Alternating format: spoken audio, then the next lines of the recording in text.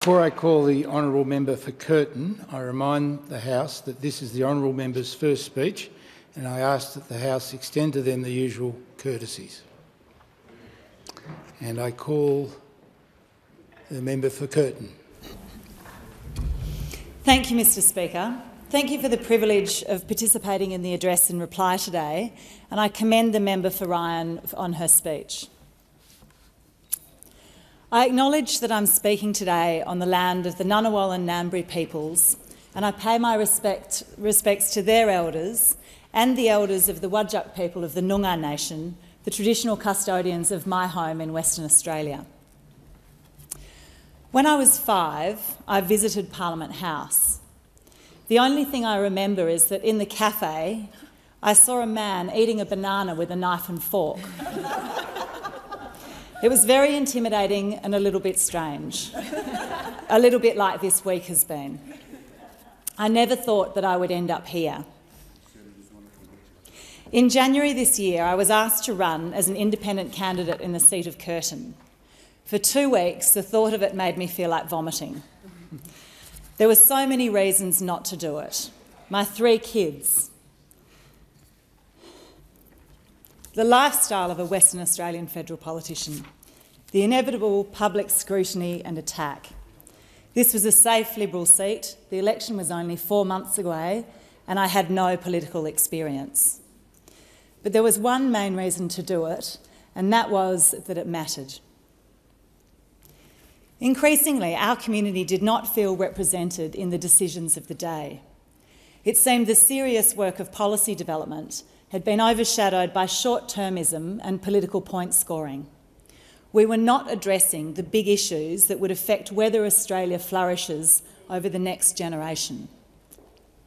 I spoke to my husband and my three children about the decision, which obviously had serious implications for them.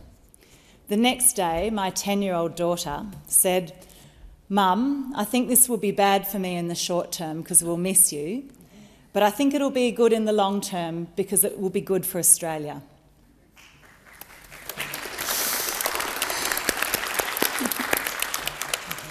That was when I knew I had to do this. I came to be here because of a community group. The Curtin Independent Group started with a cafe conversation between Tony Fairweather, who had a niggling sense of dissatisfaction and a folder of papers, and Sarah Silbert, who helped Tony turn that feeling into action. They connected with Louise Jones, Anthony Maslin, Justin Kennedy, Charlie Caruso, and the community grew, looking for a candidate. When I agreed to run, this community group formed the core of the campaign team, supplemented by some wise and trusted advisors like Sarah Allchurch, John Atkins, Fred Chaney, and Liz Constable. I'm very grateful for the incredible support and energy of the whole team. We planned to launch the campaign in a park with a week's notice. We stood in the sunshine and then we watched as hundreds of people streamed in from all directions, slowly realising that we were not alone in our dissatisfaction and our desire for change. 17 year old Ruby Patterson came with her little brother, her parents, and her grandmother. I'd never met Ruby before, but she became a symbol in my mind of why I was here. She's in year 12, brimming with potential and hope. Ruby and her family wanted to see politics done differently, so they turned up and they became the movement. They formed bonds of trust with a pop up community that shared the same thirst for long term thinking, compassion, and integrity. They arrived expecting the best from themselves and each other, and so they were not disappointed. Change happens at the speed of trust. Trust grew rapidly, and in four months we achieved the improbable. Nearly 900 volunteers and 500 donors brought their diverse skills and enthusiasm to grassroots politics. Most of them had never been involved in politics before. We had Ian, a surgeon, folding t shirts. Wendy, a retired teacher, riding her campaign bike around the electorate until it faded. Jimmy, a physio, knocking on doors, and hundreds of people delivering flyers. Our cam- campaign was positive, it was hopeful, and it was fun. I'm not going to attempt to thank the campaign team and the volunteers by name, as there are too many. You know who you are, and I thank you for the time you put in, seen and unseen. You have done an extraordinary thing. Just thinking about this community, which didn't exist at Christmas time and is now so rich with goodwill and optimism, brings me close to tears. People are amazing. In the words of Margaret Wheatley, there is no power for change greater than a community discovering what it cares about. Curtin stretches between the edge of Perth and the Indian Ocean, bordered by the beautiful Derbarl Yerrigan, the Swan River, from Mosman Park up to Gwelup. Its lakes, rivers, and coastline are cared for by a network of volunteer environmental groups who form part of its rich social fabric, along with sporting clubs, numerous primary and secondary schools, and nine local councils. With a university and a hospital, it's full of knowledge and experience. It has almost entirely been represented by Liberal members since its establishment in 1949, most recently by Celia Hammond and Julie Bishop before her, and I thank both of them for their service to the community. Knocking on 10,000 doors, the team and I had a glimpse of the diversity of life experience and expertise within Curtin. No matter what their circumstances, far from the confected outrage of social media, in person, people were kind, compassionate, wise, and concerned for our future. My community expressed a deep desire to see better long term thinking in our leadership and a more collaborative, positive approach. People told me they cared about climate action, returning integrity to politics, economic reform to meet the, meet the challenges of the future, and support for inclusive, compassionate communities. Democracy is messy and imperfect, but it gives me hope that communities can successfully put up their own candidate in the face of the historically dominant two party system. I and the other community independents who now surround me have overcome an uneven playing field. Many of us were supported by the thousands of donors to Climate 200 who could see that action on climate was going to require some new voices in Parliament. I'm grateful to Climate 200's thousands of donors and the vision of Climate 200's founders. So, why me? I was brought up in Curtin in a large family that values service to community, whether in education, business, law, or politics. From my mother, Rose Chaney, I got a sense of optimism and community. My father, Michael Chaney, gave me his thinking style. My siblings, Tom, Anna, and Amelia, have an incredible generosity of spirit. If you ask for help, the answer is always an immediate and genuine yes. I have had the advantages of a stable, supportive family, high expectations, and many opportunities which I took up with the earnest, nerdy enthusiasm of a first child. I'm very aware that it's not fair that I had these opportunities. It's difficult to know the best way to respond to the unfairness of your own privilege. I know that good fortune is not merit, but I can use what I have to work for change. My career in law, strategy, management, and community services has prepared me for what I hope to achieve in this House. As a lawyer, I advised companies on mergers and individuals at Redfern Legal Centre on debt matters.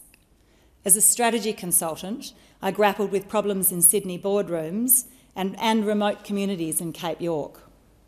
In the private sector, I developed reconciliation action plans and a sustainability strategy for one of Australia's largest companies and in the community services sector, I worked in partnership with government on innovative service design.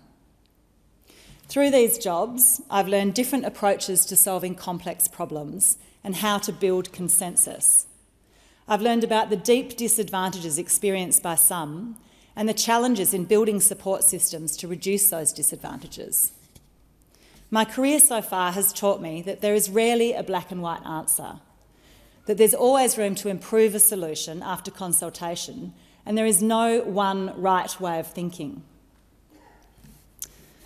I believe these will be useful lessons in this house. I worked part time while we had young kids, and my husband Bill, who has a significant career of his own, has shared the parenting and the domestic work. I'm very grateful for his strong support, and I'll miss his cooking while I'm in Canberra. I'm incredibly proud of my three kids, George, Fred, and Olive, and I thank them for their support in this unexpected life change. I've agonised about how much I should talk about my wider family. I am here because of my community, but my family has contributed to who I am. I'm in the extraordinary position of having five relatives across the last four generations to serve in Australian parliaments. There's a thread through my family political history of independent thought. On my dad's side, I have two uncles who served in this parliament for the Liberal Party between the 70s and the 90s. Fred Chaney was much loved by both sides of politics and ahead of his time on, and his party on Aboriginal rights. Ross McLean, my other uncle, referred in his first speech to the importance of marrying free enterprise with social justice. My grandfather, also Fred Chaney, who was a rural school teacher after returning from the war, came from a strong Labor family, whom he shocked when he entered politics as a Liberal. In his first speech, he acknowledged that the acceptance of new migrants was proof of Australia's coming of age. On my mother's side, my great grandfather and his father, Hubert and Henry Parker, were both in the West Australian Parliament. My great great grandfather was known as the People's Harry because he sided with the underdog. In fact, he ran unsuccessfully in 1905 as the leader of the short lived Independent Party. it's hard to accurately see your own influences and dangerous to retrospectively fit them into a neat narrative. But I'm sure these men in my family tree have in some way contributed to my strong sense of social justice and public service. The women in my family have served their communities in quieter ways, as was expected in their time. My grandmother, Delphine Anderson, who's currently recovering from COVID at 96, told me the other day about going with her father to the meeting where Sir Robert Menzies made the case for the establishment of the modern Liberal Party in the 1940s. I have never felt a pull towards either political party, feeling stranded in the middle. But I feel a pull when I read the words of Menzies, who said he looked forward to a better distribution of wealth, to a keener sense of social justice and social responsibility. I wonder if that might have been a party I would have been willing to join. In reflecting on the first speeches of my relatives, I noticed that some things in politics don't change. They all speak about the distribution of limited resources, whether government is spending too much or too little, and the balance between state and federal roles. These issues will continue to occupy the minds of the people in this House. But I'm struck by the huge challenges we faced and overcame in each generation. How we chose to address these challenges informs the assumptions of the next generation. In the 19th century, it was the concept of federation and the need to develop fundamental infrastructure for an economy. A generation later, the Depression, then nuclear war, and waves of migration, and the economic headwinds of the 1970s. The promising thing is we managed these challenges. We built railways, ports, and telegraph lines. We became a federation. We emerged from the Great Depression and various recessions. We saw off the immediate threat of nuclear war we welcomed new migrants. It's important to remember this as we face the long term issues of our day. The challenges we face today require an even longer term view than the seven generations of my family in Australia. We need to learn from the perspectives of our First Nations people, such as my friends Carol Innes and Colleen Hayward, Noongar elders who carry the local histories of not a mere seven generations, but thousands. They have a collective memory of the time when Wadjumup, Rottnest Island, was joined to the mainland of my electorate more than 6,000 years ago. Their sense of the long term brings a deeply sophisticated knowledge of a society in delicate balance with its natural resources, in tune with the cycle of time. This was dramatically interrupted by the painful arrival of a people with a linear view of time. Even in Western cultures, the concept of time as linear is only 500 years old, but it's deeply embedded. We believe in the inevitability and inherent rightness of progress. We measure progress in GDP and assume that more is always better. This concept of progress has, has provided incredible leaps in life expectancy, population growth, and interconnectedness. But we are now at an extraordinarily uncomfortable juncture where even this assumption must be questioned in the policy decisions of the day. The trajectory of progress that we're on as a species may cast us as the engineers of our own extinction. We're facing the reality that endless material growth is a myth, built into all of our systems and decisions. We must find different ways to define and measure progress and wealth. Questioning fundamental assumptions like this is painful. We can learn from the deep wisdom of First Nation ways of thinking and being. In Paul House's words at the opening of this Parliament on Tuesday, please look after the land and the rivers, and the land and the rivers will look after you. Our ability to address climate change depends on a uniquely human attribute as a species, we've thrived on this planet because of our ability to cooperate and work to a common purpose as communities. It's this spirit of cooperation that will be needed. The climate bill that was introduced into this House yesterday is a symbolic step in the right direction. We need to go further, but we need to start somewhere. The opportunity is huge. Western Australia should be leading the world in renewable energy. As decision makers in this House, we must balance this long term imperative with shorter term, more human scale issues to ensure stability and a smooth and fair transition. My community recognises that we must rebuild trust and confidence in our institutions. We'll only be able to make these long term decisions if the people of Australia believe that we are acting in their best interests. Politicians are frequently seen as the least trusted of all professions. Rebuilding trust in our democracy will require structural change and cultural change. Australians need to know that corruption will be uncovered and systems reformed to prevent it happening again.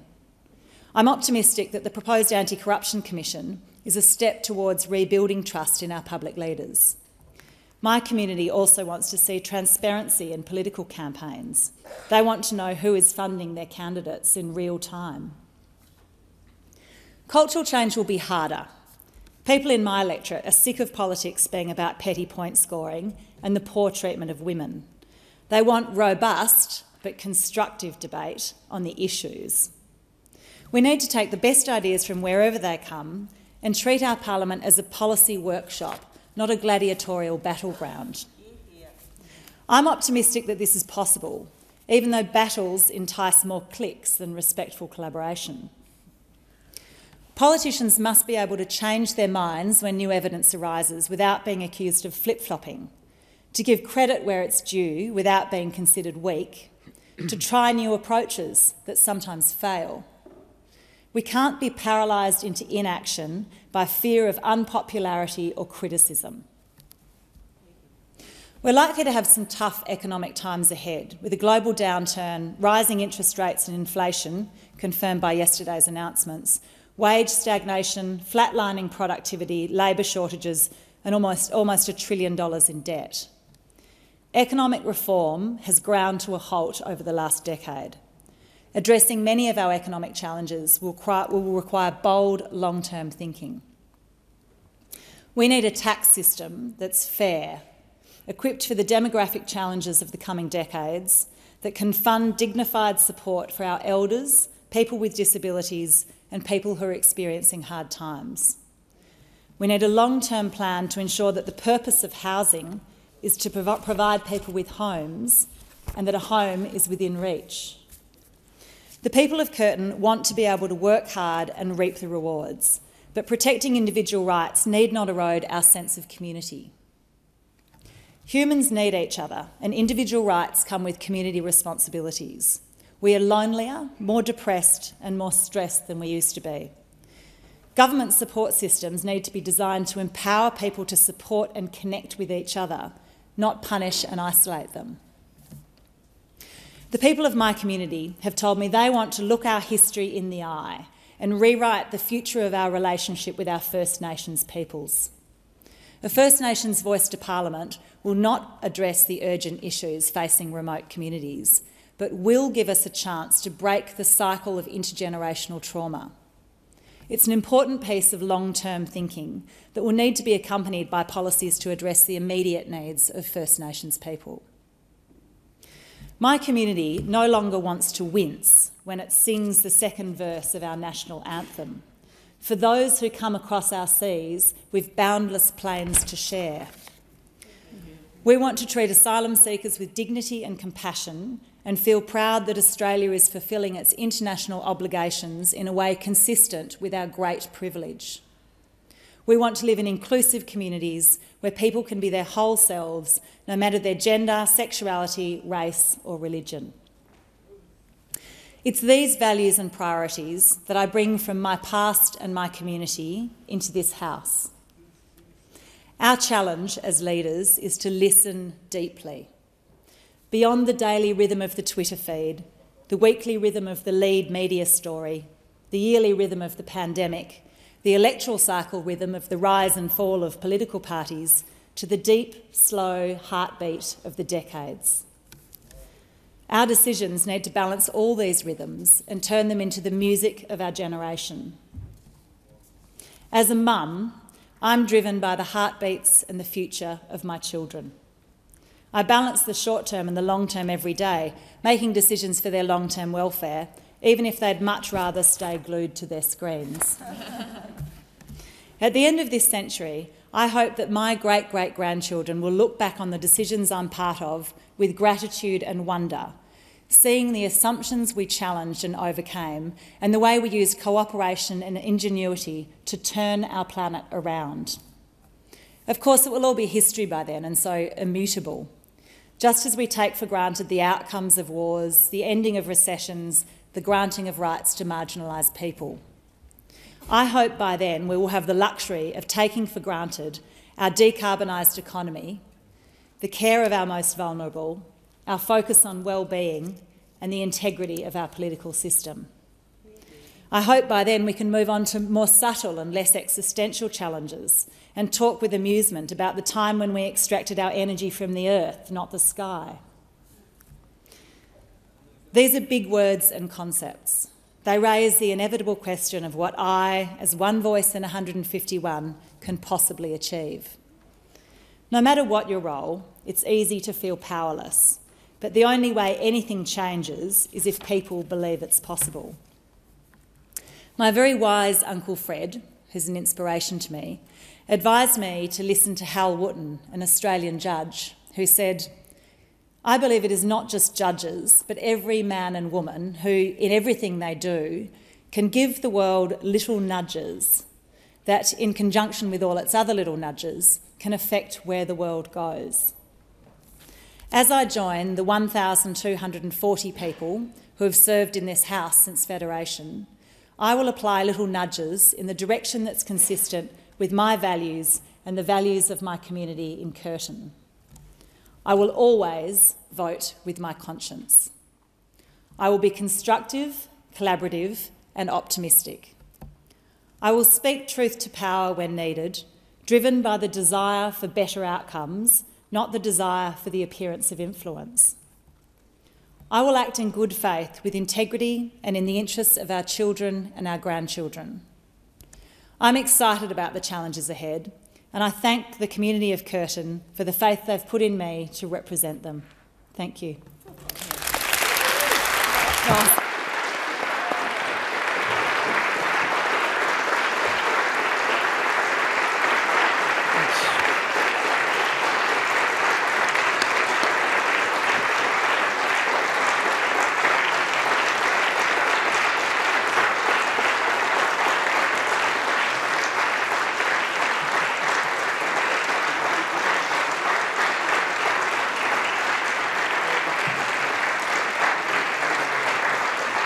thank the member for Curtin.